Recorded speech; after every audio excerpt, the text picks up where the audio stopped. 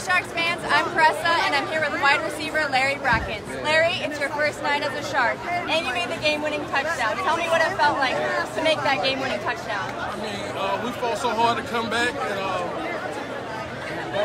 Pat, he threw a pretty good ball, I caught it off the wall, you know.